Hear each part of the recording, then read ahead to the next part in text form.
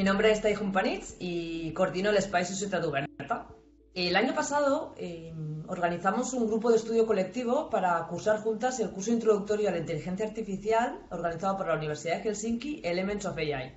Como la temática no es especialmente fácil y además cuando lo hicimos nosotras estaba en inglés, pensamos que contar con, la, con el apoyo de una persona experta en, la temática y que nos lo pudiese hacer en español, pues podía facilitar el que pudiésemos acabar los seis, eh, las seis semanas del curso. Lo que vais a ver a continuación son las, grabaciones de las tutorías realizadas por Javier Sánchez para que pueda servir a otras personas que a lo mejor se estén planteando hacer el curso. Quizás comentar que no es que sean unas grabaciones especialmente hechas para, hacer un curso online, sino que lo que hemos intentado hacer es aprovechar una cosa que, habíamos hecho a tiempo real, pues eh, reciclarlo un poquito para, bueno, pues para que fuese un material de apoyo a cualquier persona que lo quiera, que lo quiera usar. Y desde aquí, bueno, pues animaros a empezar el curso y sobre todo a acabarlo, porque vale la pena. Hola, soy Javier Sánchez Monedero, investigador en la Universidad de Córdoba y he sido también tutor de un grupo de estudio colectivo para el curso Elements of AI. Este es un curso de divulgación sobre conceptos de inteligencia artificial que tiene seis bloques. El primero es un poco sobre definición de qué es la inteligencia artificial, campos relacionados, cuestiones filosóficas y un poco de historia. Y luego pasa un poco en los siguientes temas a trabajar eh, la resolución de problemas a través de inteligencia artificial. Presenta ejemplos clásicos de inteligencia artificial resolviendo juegos de mesa básicos. Y luego pasa a un tercer capítulo donde introduce conceptos de estadística como la probabilidad, pero también la, la regla de Bayes para tratar de mejor entender cómo funcionaría un sistema de decisión automática en un entorno real. En el capítulo 4, el curso trata sobre eh, Machine Learning o aprendizaje automático, aprendizaje máquina en castellano, donde se ve un poco las grandes familias de métodos de aprendizaje automático, se presentan un par de ellos y se resuelven algunos ejercicios. El capítulo 5 habla de redes neuronales artificiales que es una de las técnicas más populares a día de hoy para sistemas de inteligencia artificial basados en datos. Y finalmente el curso termina con implicaciones eh, sociales y algunas predicciones de futuro que podrían hacerse sobre eh, hacia dónde podríamos llegar con estos sistemas. Esta tutoría que hacíamos trataba de resolver dudas sobre los ejercicios y eh, cuestiones de interés que iban planteando las alumnas y alumnos. Entonces, en el, vídeo pues resumiremos cada uno de, estos temas y además daremos algunas pistas sobre cómo abordar algunos de los ejercicios donde eh, el, alumnado decía que tenía más problemas. Así que espero que, este vídeo os ayude a entender un poco más la inteligencia artificial y sus técnicas asociadas y también os quite un poco em, la barrera para hacer el curso de Elements of AI. Muchas gracias. Estos son los dos primeros temas del curso. Realmente el primero es eh, pues, un, texto de debate, ¿no? Como podría ser eh, cualquier texto de introducción a la inteligencia artificial que veáis. Y bueno, pues luego tiene algunos ejercicios muy básicos de vamos a, ver qué tales componentes de un programa informático serían inteligencia artificial o no. Eh, yo en uno, por ejemplo, fallé. bueno, pues porque realmente como, un poco de debate en el grupo de Telegram, mm, eh, estos son cuestiones que, tienen definiciones por autores y que no es eh, y que no son definiciones universales, compactas, sino son, bueno, pues definiciones que como pasa a veces en, en filosofía o en, o en, otras disciplinas, pues eh, les varias y al final tú te haces la propia, ¿no? O tienes una, una visión general pero es difícil que haya una visión, una, visión única para definir la inteligencia artificial fácilmente. Em, claro, eh, el reto de qué es la inteligencia artificial, pues tiene varias formas de verse, ¿no? Y una eh, en la que nos introducen, que quizás sea eh, interesante, ¿no? Es a través de aplicaciones o tareas. Pues dicen, bueno, pues el coche autónomo, todo el mundo está de acuerdo en que es inteligencia artificial, que además se compone de otras inteligencias artificiales. Eh, más bien técnicas que contribuyen a crear esa inteligencia artificial. Pero también están los sistemas de recomendación, que estamos muy familiarizados con ellos, porque hoy es rara es la web que no te recomienda un artículo parecido a los que estás comprando, a los que estás leyendo o a las canciones que estás escuchando. Pero también son los traductores de, idiomas. Claro que hay unos hay problemas para que entendamos, sigamos definiéndola, porque por un lado tenemos la ciencia ficción, que para mucha gente fue el primer contacto con la inteligencia artificial, eh, y, lo fue a través de, bueno, de grandes películas famosas, ¿no? Como La Odisea en el Espacio, Terminator, etcétera. Eh, luego también porque es una definición cambiante. Eh, fijaros que una de las definiciones que nos dan dice ah, inteligencia artificial es lo que el ordenador no puede hacer todavía, ¿no? O que incluso hablan de que algunas técnicas que se consideran ahora inteligencia artificial dentro de un tiempo pasarán a ser parte de, la estadística básica. Por tanto, es una definición cambiante según nos movemos en los años. Luego tenemos otro problema, que lo que nos parece fácil a, las personas, para el ordenador a veces es muy difícil y viceversa. Lo que nos parece súper difícil a las personas eh, es súper fácil para el ordenador, ¿no? Pero bueno, esto también pasa con una calculadora, ¿no? Una calculadora apenas sabe hacer cosas, pero hace operaciones matemáticas eh, que nos resultan muy difíciles o por lo menos muy lentas para nosotros. Eh, bueno, luego habla de, otra forma de intentar definir la inteligencia, que es a través de un test que dijo Alan Turing, bueno, no sé definir la inteligencia, pero voy a inventarme una prueba para comprobar que un comportamiento es inteligente, ¿no? Entonces, hablan del test de Turing pero claro, luego hablan de un contratest, si le podemos llamar al de Turing, que es el de la habitación del traductor eh, de, un idioma, creo que hablan al chino, ¿no? Y que bueno, pues que puede haber alguien dentro eh, traduciendo una palabra a otra, mirando un diccionario sin tener ni idea de lo que está haciendo, ¿no? Pero bueno, me ha gustado también volver un poco a los orígenes eh, y, y, que John McCarthy, que es uno de los padres de la inteligencia artificial, dice que bueno, que es como un área de estudio que trata de eh, ver cómo trasladar eh, cualquier tipo de inteligencia o característica de inteligencia a un modelo que pueda ser procesado por una máquina. Y que entonces se pueda simular. ¿no? Acordaos que es interesante aquí la palabra simular. Luego eh, también juega un poco, que no sé qué, qué tal notas habréis sacado en esto cuando habla de las áreas relacionadas, porque dice, bueno, tenemos muchos términos que se usan a veces indistintamente, pero que, son diferentes, ¿no? Tenemos deep learning, ciencia de datos, ciencia de la computación, machine learning o aprendizaje automático, aprendizaje máquina, según las traducciones, inteligencia artificial, ¿no? Entonces, si habéis hecho este ejercicio bien, te decía, bueno, pues podríamos poner eh, ciencia de la computación como un gran macro área, que sería la A, ¿eh? Y luego tendríamos eh, la ciencia de datos como otra gran macroárea, que se solapa en parte con las otras. Dentro de las ciencias de la computación, pues eh, la segunda grande sería inteligencia artificial y dentro de esta pues habría unas técnicas muy populares que son las de eh, machine learning, pero también tenemos otras como la que hemos visto en el tema 2, de técnicas de planificación como, y resolución de, juegos, como el algoritmo Min-Max, que estarían aparte del Machine Learning, ¿vale? Pues Machine Learning aprende de los datos, pero el Min-Max son eh, una serie de, formas de razonar sobre, eh, sobre árboles de, decisión para encontrar una solución óptima. Y luego finalmente el Deep Learning, que sería pues, bueno, pues un tipo de aprendizaje automático que está siendo muy popular en los últimos años porque está dando muy buenos resultados, pues sobre todo en, visión artificial y en traducción automática y procesamiento del lenguaje.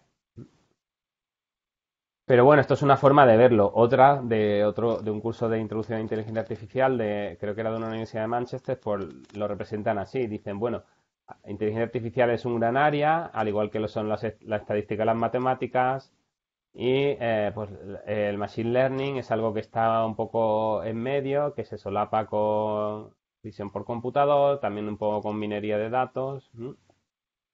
Luego está la parte de robótica, que puede tener componente de inteligencia artificial, pero también, bueno, pues otros autores habrían puesto el machine learning también aquí, ¿no? Porque tenemos ejemplos de, del aprendizaje por refuerzo eh, muy claros en la robótica.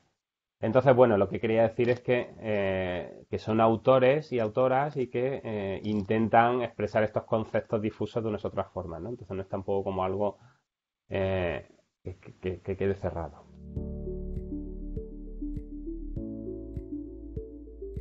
Bueno, si entramos al tema 2, pues os he traído aquí, aquí ya lo he dejado un poco más apretado, ¿verdad?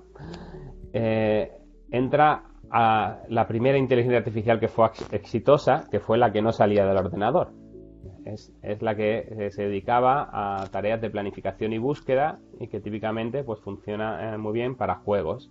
Juegos que tienen unas reglas cerradas, donde cada acción que se hace sobre el juego se sabe eh, la consecuencia que, va a tener, es decir, cómo va a quedar el, estado o el tablero después del juego.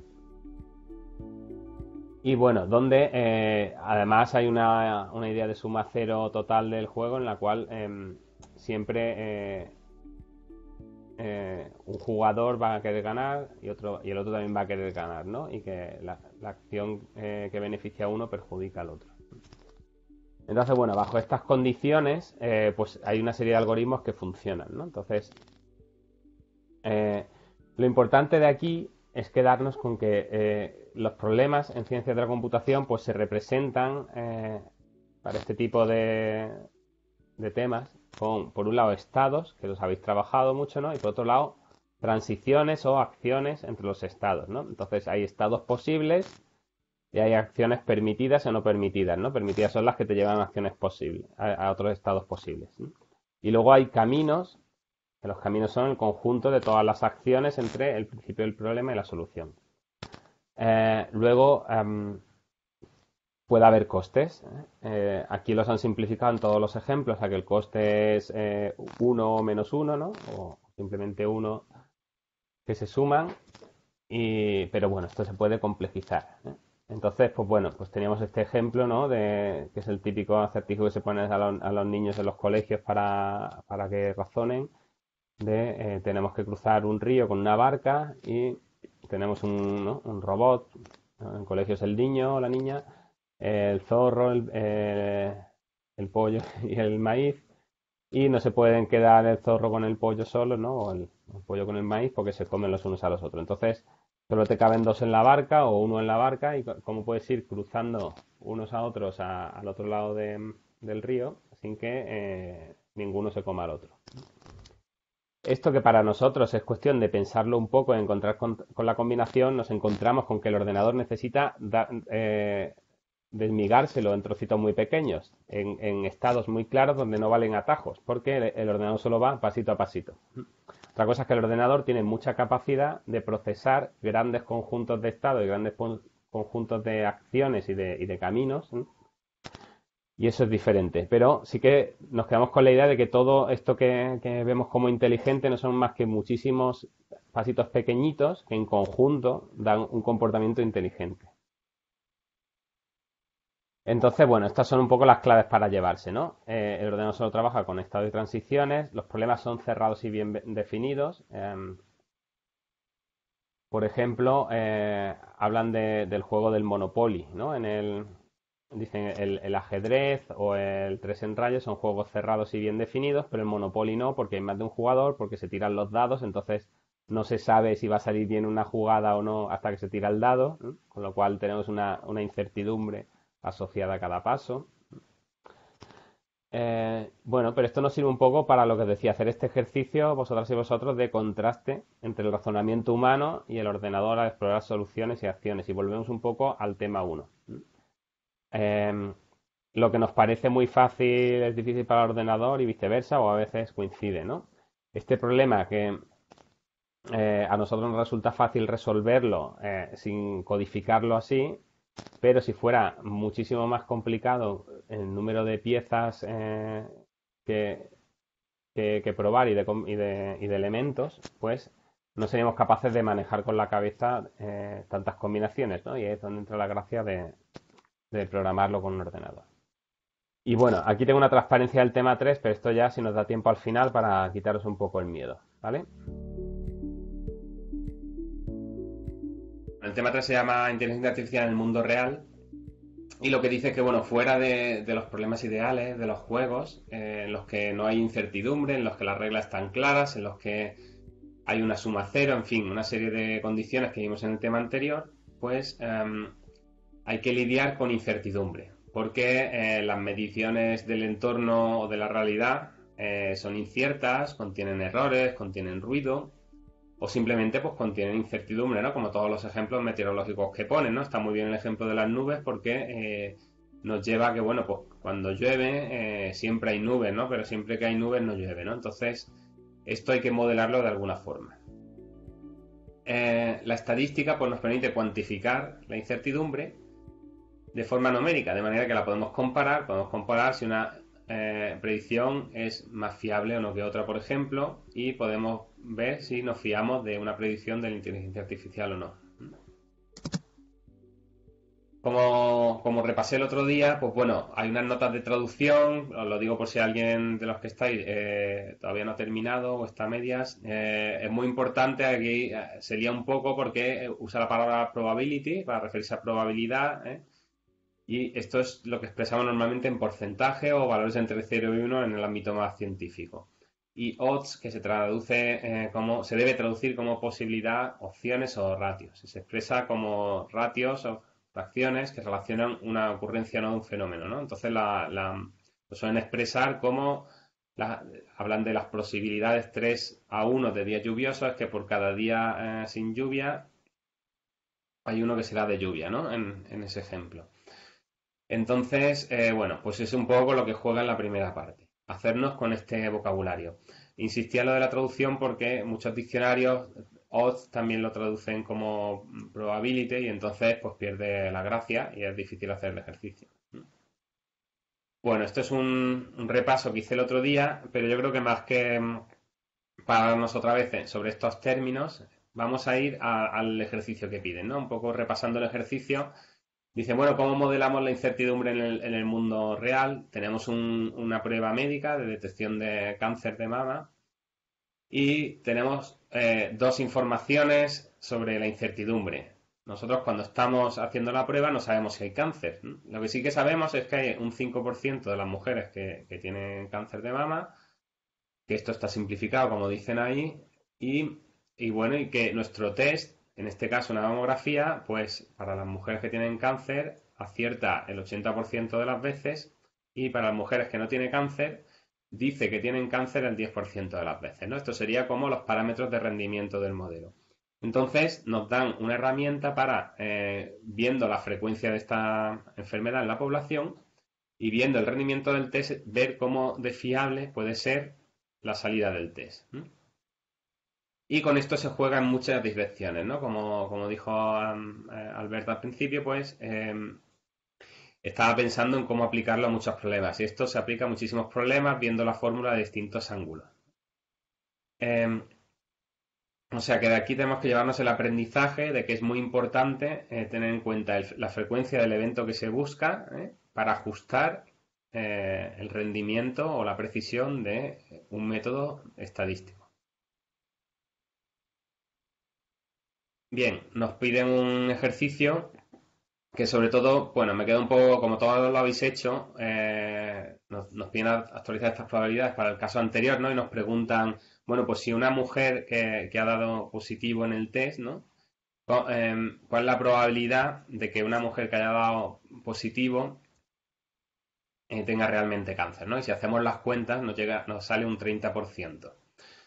Eh, me parece más interesante, ya que habéis hecho el ejercicio, pararnos en este 30%, que hay que insistir en que eh, el 30% de, de, las veces que se, realice este experimento, si lo hacemos muchas veces, eh, 30% de las veces, una mujer que, tenga, que haya dado positivo en el test tendrá cáncer realmente. Pero es muy importante lo de muchas veces, que significa poblacional, porque los métodos estadísticos nos dan garantías de rendimiento poblacionales, no individuales. Esto es importantísimo a la hora de sacar conclusiones y, eh, como veis empiezan con este, con este razonamiento y esta idea muy al principio del tema 3.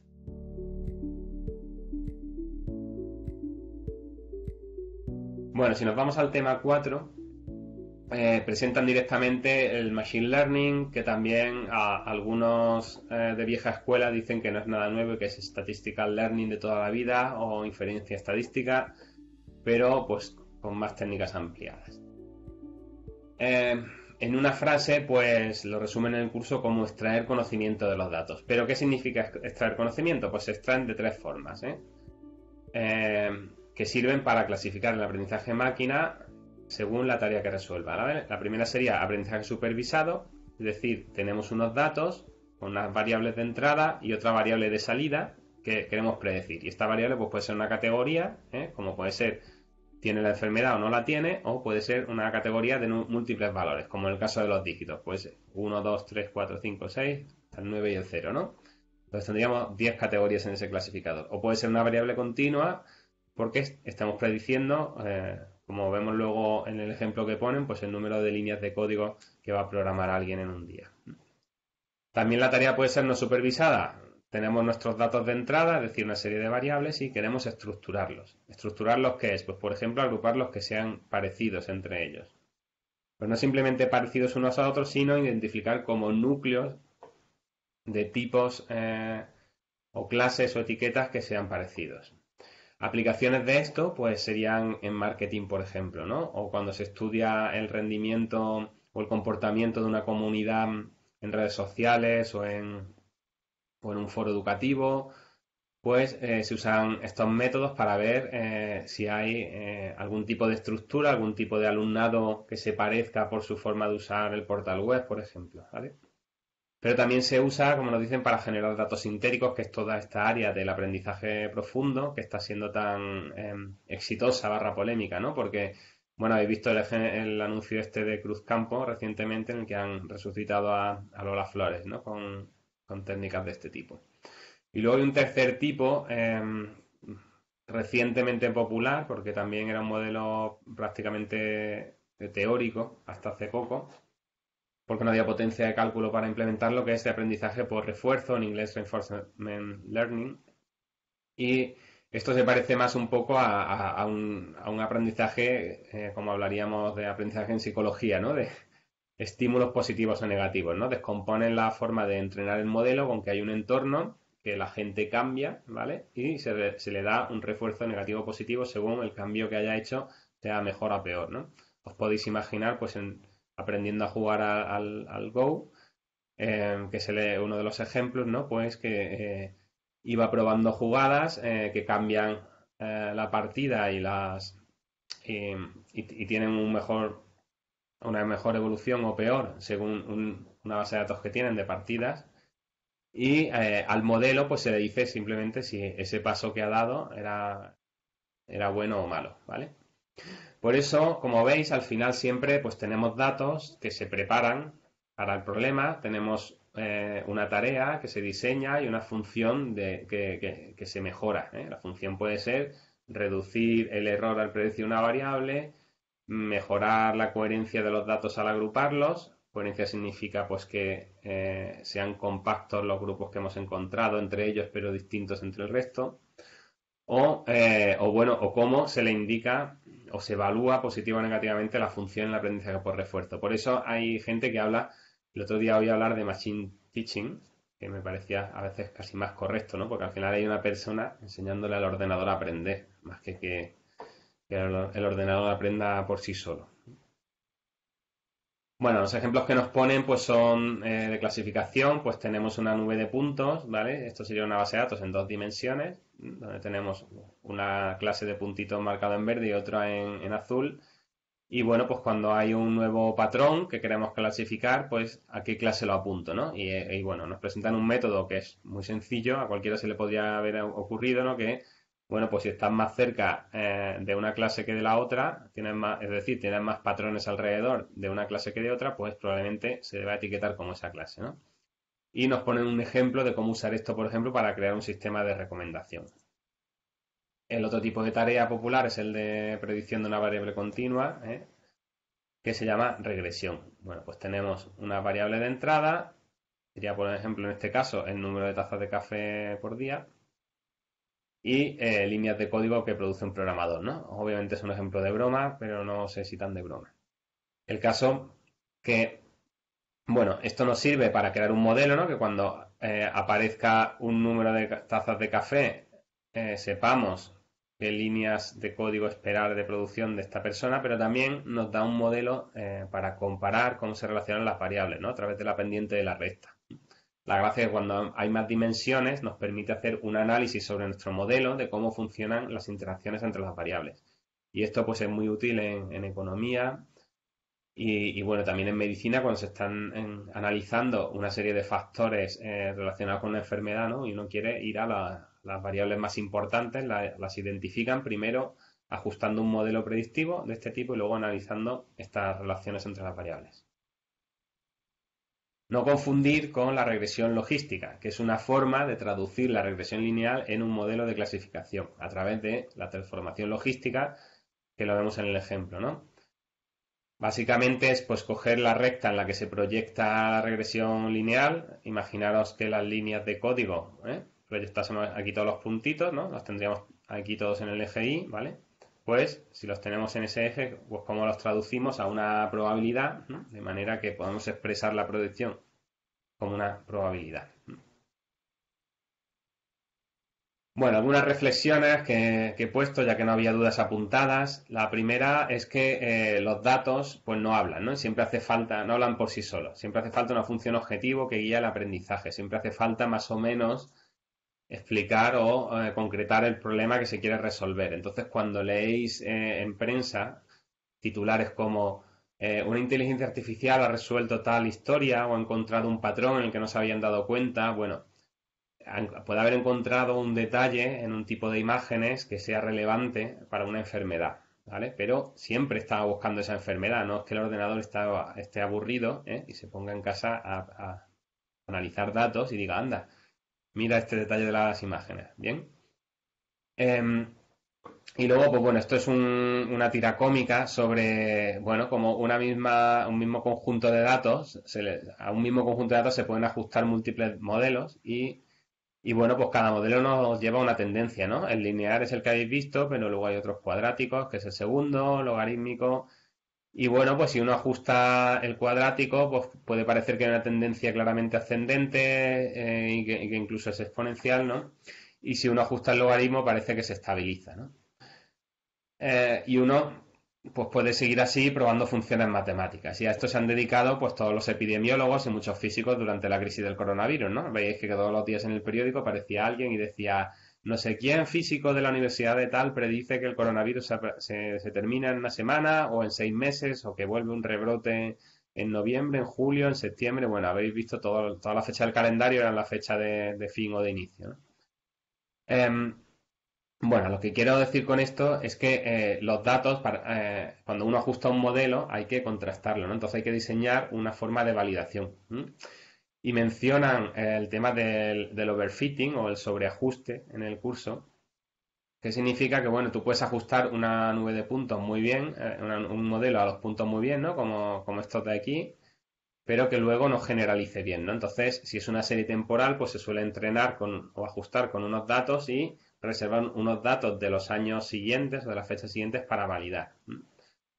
Em, pero también, bueno, esto pues, se puede usar estratégicamente para ciertas manipulaciones, ¿no? De vez en cuando sale un economista en Twitter de estos un poco polémicos, por llamarle de alguna forma, ¿no? Que dicen, no, es que hay una relación directa entre que no se paguen impuestos y tal métrica social, ¿no? Y te pone una línea así ajustada como ha querido una línea de puntos, ¿no? Y te dice, y bueno, ¿no? Para esto hay unas métricas de calidad del ajuste que se llama la, R. Y, entonces, pues bueno, pues a veces esto cuando llega alguien y comprueba el ajuste que ha hecho el, señor este, pues resulta que, ha hecho un ajuste que es al azar y que la línea, igual que está así, podría estar así o, así, ¿no? Entonces no, quiere decir nada. Bueno, y también otra reflexión que quería hacer es que predecir a menudo no es predecir, ¿no? Cuando em, dicen estamos haciendo un sistema de recomendación, ¿no? Y dicen, quiero predecir eh, cuál es el siguiente, eh, el siguiente elemento que vas a comprar de una lista, ¿no? Entonces te comparan con el KNN, ¿no? Con, la cesta de la compra de una serie de personas y a quien más te parezcas, pues eh, el, bien o, el, o el objeto que tú no hayas comprado y esa persona sí, ¿no? Dan por hecho la secuencia temporal que va a ser el que tú compres, ¿no? Entonces a eso le llaman predecir, pero realmente, pues más que predecir es comparar, ¿no? Están buscando a alguien que, haya comprado cosas parecidas a ti y eh, están usando eh, lo que tú no has comprado, que ha comprado esa persona para decir que eso es lo siguiente que tú vas a comprar, ¿no? Entonces hay también mucho, mucha narrativa aquí y, bueno, pues se usa, yo creo que se usa demasiado la palabra predicción. Yo creo que, que predicción eh, antes se usaba más en, pues cuando había, por ejemplo, una reacción temporal entre los datos, ¿no? Hay un cambio de presión atmosférica y sabemos que al tiempo va a llover, ¿no? Eso sí es predicción porque hay una causalidad y una, y una disposición temporal, ¿no? Pero eh, predecir en forma de comparar pues es complejo, ¿no? Igual cuando, dicen, bueno, voy a predecir que este trabajador va a ser bueno para mi empresa. A, menudo se está comparando ese trabajador con los que hay en la empresa a, través de, de test psicotécnicos, por ejemplo, que se han hecho, ¿no? Y lo que se busca es que sea parecido al rendimiento que tienen los que ya hay en la empresa. Entonces no es que se esté prediciendo el talento, se está midiendo eh, lo parecido eh, que ha puntuado esa persona eh, cuando, se ha, cuando ha hecho esos test psicotécnicos en forma de app o en forma de papel. Y bueno, pues este sería un poco el, resumen que hago así de los, de los dos temas con, alguna reflexión un poco personal de, textos que leo también de análisis crítico de, de estas tecnologías. los dos últimos temas. El, quinto era el paso natural que faltaba en el curso, porque hoy en día no se puede hablar de inteligencia artificial sin redes neuronales artificiales. Las redes neuronales artificiales son una técnica que viene de los años 50, como habéis visto, y que ha tenido sus, eh, bueno, sus apogeos y declives históricos según eh, se encontraba con limitaciones. Eh, en los 70 se encontró con que no había capacidad de cómputo ni métodos para, construir estos modelos de forma eficiente. Y más tarde se encontró eh, con que bueno, ya estaba estancada con el tipo de arquitecturas que se podían implementar hasta que aparecieron las tarjetas gráficas como nuevo elemento de computación y se permitió eh, poder entrenar los modelos de aprendizaje profundo, que hasta entonces pues básicamente eran modelos teóricos de los que se se publicaba mucho a nivel teórico en revistas, pero eh, con, poca, con pocos resultados experimentales. Bueno, pues el tema empieza introduciéndonos las redes neuronales biológicas como punto de inspiración de las artificiales. Entonces, bueno, hace un repaso así de biología, ¿verdad? De cómo procesa el cerebro información. Pero bueno, nos insiste todo el rato eh, en que em, una cosa es eh, las redes neuronales biológicas y otra las artificiales y que además una cosa sería simular el cerebro humano, que hay proyectos de investigación para hacerlo, pero seguiría siendo diferente de las redes neuronales para tareas de inteligencia artificial, ¿no? Eh, para tareas de clasificación o regresión. Em, nos pone como metáfora, que me parece muy buena, pues el caso de los pájaros y el avión, ¿no? Nosotros, em, aunque pueda servir de inspiración las aves para, para hacer máquinas que vuelen, no, no vamos a ninguna parte con un avión que intente despegar aleteando las alas, ¿no? Sino, bueno, pues ha inspirado en algunas partes, pero realmente, más allá de inspirarse conceptualmente, eh, luego ha seguido caminos totalmente diferentes. Entonces, esto es un poco así. Una red neuronal, eh, al final, bueno, pues está compuesta de una serie de entradas, ¿eh? que es una serie de entradas. Hoy he descubierto el puntero en la última clase. que procesan las variables de entrada directamente. Las variables de entrada, pues si tenemos datos, por ejemplo, em, de un problema sanitario, pues pueden ser variables sanitarias de la, de la persona, ¿no? Pues puede ser aquí eh, el índice de masa corporal, grupo sanguíneo, bla, bla, bla. Y esos son los datos de entrada. Luego hay una o varias capas ocultas que procesan esa información y cómo la procesan. Como hemos visto en el tema, pues eh, aquí hay unos, unas conexiones que tienen unos pesos, eso es un numerito eh, real, puede ser negativo o positivo, que multiplican estas variables antes de entrar a la siguiente capa. ¿vale? Luego la siguiente capa pues procesa la suma de todas esas variables de entrada y vuelve a pasar lo mismo en la siguiente.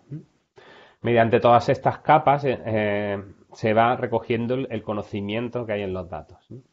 Siempre hay unas capas de salida que puede ser una en el caso de regresión o varias en el caso de clasificación. En el caso de clasificación hay tantas capas de salida como clases. Entonces se activa, entre comillas, que es la, capa que tiene mayor valor de probabilidad, eh, se, activa la neurona que corresponde a la categoría que queremos identificar, que hemos identificado en los datos de la capa de entrada. Bien.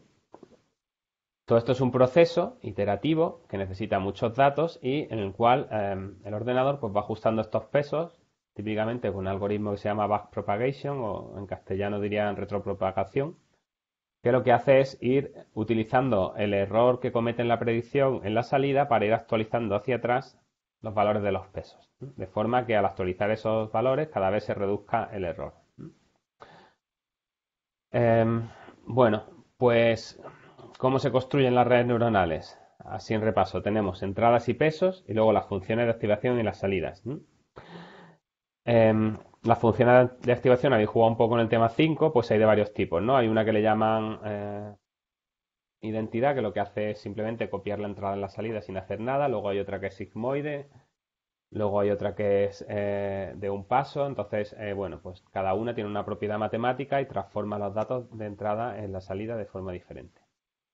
Lo que sí quería, quería detenerme en el caso de una red neuronal muy sencillita, que tuviera solo una capa y solo una neurona, sería el, caso que tenemos aquí. Entonces tendríamos nuestras variables de entrada, nuestros pesos, se multiplican esas variables de entrada, luego se suman y hay una función de activación y se saca a la salida. ¿vale? En este caso, esto básicamente es una regresión logística, que lo visteis en el tema anterior. La regresión logística, al final, lo que pasa es que lo ponía con una fórmula matemática. Lo que hacía era multiplicar los pesos por las entradas y sumarlos, ¿vale? Estaríamos aquí. Y luego los transformaba con la, eh, con la función logística, ¿eh? esa en forma de S que veíamos. Y con eso pues se decidía eh, si, un, si un patrón era de una clase o de otra, según la probabilidad que saliera. Bueno, pues conceptualmente es lo mismo, incluso tienen parecidos el algoritmo de ajuste de los pesos, ¿vale? Lo que hace una red neuronal es tener muchísima más capacidad de lidiar con problemas más complejos, añadiendo capas a lo ancho y, eh, digamos, en el número de neuronas que tiene en cada capa y a lo profundo, el número de capas que hay por las que va pasando y transformándose la información. En el curso pues señalan dos tipos de redes neuronales especiales, las convolucionales y las generativas. Las convolucionales eh, fueron de las primeras que más éxito tuvieron de aprendizaje profundo. Y, lo que hacen es pues una operación matemática en la cual van cogiendo ventanitas eh, de píxeles en la imagen eh, y cada ventanita la resumen con esta operación que se llama convolución. De manera que si la ventanita es de 5 por 5, pues al final una imagen se reduce sus dimensiones en un factor de 5. Así que la siguiente capa de la red neuronal puede ser mucho más pequeña, es decir, que tiene menos neuronas y menos conexiones y por tanto es mucho más fácil de, entrenar. Y además esta operación matemática pues, tiene la propiedad que eh, detalles como bordes, esquinas y demás son eh, identificados que se llama de forma invariante a, la rotación y traslación. Entonces, aunque una esquina salga así, si luego sale así, la sigue detectando. Em, se llaman profundas porque hay muchas capas. Entonces, típicamente, pues bueno, aquí hay un resumen, pero eh, los modelos de hoy en día que más éxito están teniendo a veces tienen hasta 128 capas de un tipo de redes que se llaman redes residuales, que son otro tipo de, redes convolucionales. Y como os decía, pues bueno, hay, eh, hay tantas neuronas de salida como categorías, y la que tenga la probabilidad de salida más alta es la que se, la que se elige. Entonces, bueno, aquí es gracioso porque dice, bueno, han puesto un ejemplo en el cual una flor tiene una probabilidad, la segunda clase más probable es una taza, un coche y luego un, árbol. Aunque esto pueda parecer una locura, pasa en la realidad. Entonces, también puede ser que la taza tuviera alguna florecita en el borde y se esté confundiendo. El otro ejemplo que pone son las redes neuronales generativas, que es eh, esta idea de usar las redes neuronales no solo para clasificar, sino para crear imágenes sintéticas. Entonces, eh, bueno, pues nos habla de la gran contribución al campo de Ian Goodfellow, que creo que ahora trabaja en Facebook o en Google, si no me equivoco. En Google, sí. Eh, que propuso esta idea de tener dos redes neuronales aprendiendo en paralelo. Una está aprendiendo a, a clasificar imágenes y a distinguir una sintética de una, de una verdadera y la otra está aprendiendo a generar imágenes sintéticas que confundan a la otra red neuronal. Y entonces, en este proceso de aprendizaje, pues eh, se aprovechan los errores y aciertos de cada una de las dos para mejorar las dos redes, de manera que el sistema vaya mejorando, sobre todo la red adversaria, que es la que intenta engañar a la otra. Esto se ha usado no solo aquí eh, para imágenes, para generar imágenes sintéticas, pero también se está usando pues, para generar música, para procesar audio y mejorar la calidad, separar la voz del fondo en, un audio. E incluso leí un artículo donde usaban esto para generar eh, un, conjunto de 100 huellas dactilares que hacían que, sobre una población de 3 millones de personas, con estas 100 huellas dactilares siempre conseguías desbloquear la autenticación por huella dactilar. Cosa que también parece interesante.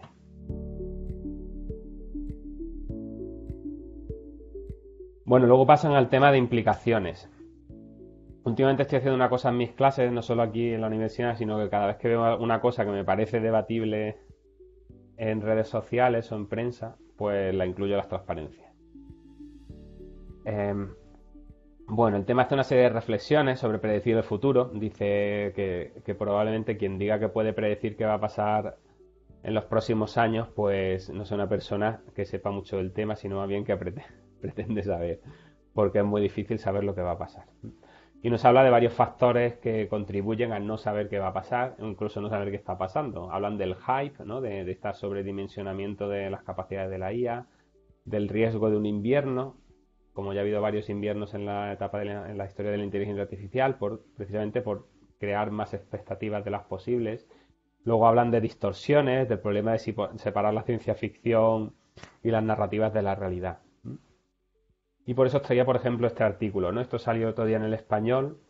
Es un artículo eh, que yo descubrí porque una política española dijo que, bueno, pues que, su Secretaría de Estado iba a utilizar algoritmos verdes inspirados en redes neuronales artificiales para ahorrar energía.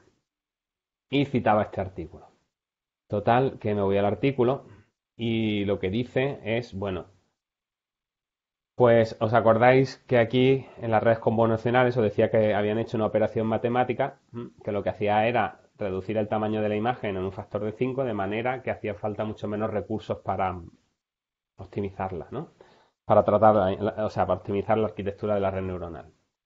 También no he, nombrado que cuando uno propone eh, en el entrenamiento una estructura de red neuronal como esta, Em, hay algoritmos en Deep Learning que lo que hacen es eh, hacer una poda o descarte de redes neuronales que no están contribuyendo al procesamiento y que eh, lo único que están haciendo es suponer un coste computacional.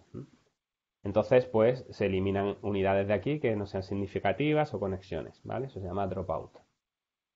Bueno, pues lo que venía a decir este artículo, basado en otro artículo publicado en Borrador por ahí, es que eh, las redes neuronales, de una forma muy filosófica, em, aprendían a inhibir la información sensorial que no necesitábamos para ahorrar energía al cerebro y que em, este proceso que se habían observado eh, unos investigadores y que el periodista daba por bueno y que lo daba como un descubrimiento reciente, pues era una forma de ahorrar energía que podíamos em, adoptar inspirándonos en la inteligencia artificial que a su mismo vez se inspiraba en el cerebro. Después de lo que os he contado, después de ver el tema 5, veis que en realidad ni se inspira en el cerebro ni, ni han inventado nada, simplemente es cómo funcionan todos los métodos de aprendizaje automático. Todos los métodos de aprendizaje automático procesan la información y descartan de una u otra forma las variables poco relevantes o las zonas de una imagen poco relevantes. Esto se hace siempre, no es un descubrimiento reciente y eh, no es algo, eh, bueno, se puede revestir de una forma filosófica si, os metéis en el artículo, pero, pero realmente no es nada nuevo. Bueno, sobre, bueno, esto me refería con distorsiones y narrativas que a veces pues nos confunden un poco y que además son difíciles a veces de distinguir si no tienes cierta formación. Sobre el impacto social, eh, bueno, no voy a resumir tampoco lo que dicen porque em, simplemente deciros que, en 2016 había un, algo que decían en las charlas, que decían cuando se iba a analizar el impacto social del Big Data y la inteligencia artificial, se decía hay que ir más allá de la privacidad, entonces ponían Beyond, Privacy, y eh, para analizar el impacto, ¿no? Y después entró toda esta, esta parte de los sesgos algorítmicos, de la, de, la ecuanimidad, eh, de la discriminación algorítmica y demás. Eh, y hoy en día hay gente diciendo, bueno, pero hay que ir más allá del tema del sesgo algorítmico para analizar el impacto social, ¿no? Vayamos eh, más allá del sesgo, ¿no? bias. Así que mm, debemos ir un poco más allá, ¿no? Y, y, ver que el problema de un algoritmo no puede ser solo que discrimine o no a un colectivo étnico, eh, el bono social energético, el algoritmo del bono social energético está denegando muchas ayudas sociales y, no se sabe muy bien por qué, ¿no? Em, y el problema es que eh, pues no se puede auditar eh, y aunque se pudiera auditar, bueno, el hecho de que esté denegando a gente sin recursos económicos, nos da igual el grupo étnico, sistemáticamente el bono social, que a lo mejor un trabajador social ve que sí que tienen derecho, pues eh, nos lleva a ver que el impacto social es negativo, ¿no? Y no importa ni la privacidad ni, que haya un, sesgo eh, por grupo étnico o social, ¿no? Bueno, eh, dos consejos para finalizar cuando estéis procesando información sobre inteligencia artificial. La inteligencia artificial puede ser buena, y lo es muchas veces, en tareas muy específicas y cerradas, ¿vale? Esto es casi lo que veíamos en el tema 2 eh, de los juegos, pero al final es así.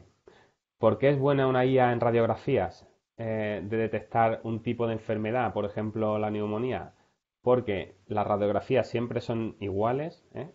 y la neumonía se manifiesta de una forma similar. Entonces tenemos, y además no vamos a decirle a la IA que busque más enfermedades que esa. Entonces la IA se restringe a, buscar, a, detectar si hay neumonía o no en una radiografía, pero si cambias el tipo de radiografía, si amplías las enfermedades, si amplías los tipos de neumonías, etcétera, deja de funcionar, ¿vale? Entonces, em, una tarea que no es cerrada es modelar un fenómeno social, porque un fenómeno social es tremendamente más complejo de modelar que un, que un fenómeno eh, físico, ¿vale? en muchas cuestiones, vamos, y hay frases históricas de Einstein al respecto. Entonces, la IA es mala en todo lo contrario. Cuando el dominio está abierto, cuando las variables son incompletas, cuando las categorías son eh, dudosas o son difusas, la IA y en general los métodos numéricos no irán. Por eso, em, cuando vemos el tema de inteligencia artificial aplicada a buscar fraude, a evaluar ayudas sociales, Em, bueno, y otra serie de dominios, podemos pensar que no tiene por qué funcionar bien. Y eh, a los hechos me remito. El histórico de sistemas fallidos en estos ámbitos en distintos países, desde el, el Robodep en Australia, los dos o tres sistemas que han cerrado en Países Bajos, todo el problema de los sistemas de scoring en Reino Unido, ¿vale? Em, problemas que ha habido en Estados Unidos donde, un juez ha paralizado un algoritmo que asignaba la ayuda a domicilio. Bueno, eh, recientemente un algoritmo que gestionaba quién tenía que salir em, de una prisión han descubierto que el valor por defecto era dejarlos en la cárcel y, ha, retenido a gente más años de la cuenta en, cárceles de Estados Unidos. Todo esto que, es intentar medir cuestiones de la vida em, reduciendo a variables numéricas eh, es tremendamente difícil y complicado y peligroso muchas veces por las repercusiones que tiene, ¿vale?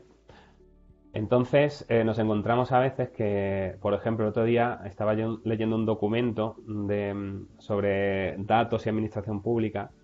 Entonces ponía un caso de uso de éxito de la IA prediciendo el desgaste de máquinas en una fábrica y luego decía, y esto sirve para gestionar cuestiones sociales. Entonces dice, oye, eh, ponme un caso de éxito de gestión social y entonces me habla de otro sitio donde se podría aplicar, pero no me pongas un caso de desgaste de máquinas y de uso de los datos para gestionar y optimizar la duración de las máquinas y me lo traigas a las personas, ¿no?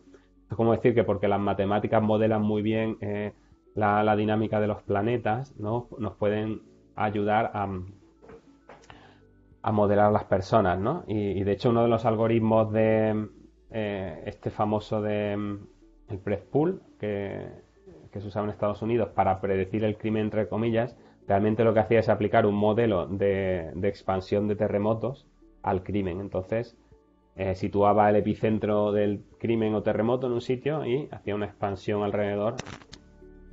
¿Vale?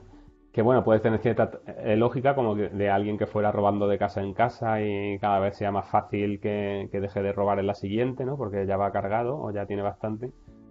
Pero, pero bueno, quizá pueda aplicar cierta lógica a nivel mm, de muchos crímenes o poblacional, pero desde luego predecir el crimen individual de una persona, como pone la prensa, pues no es así, ¿no?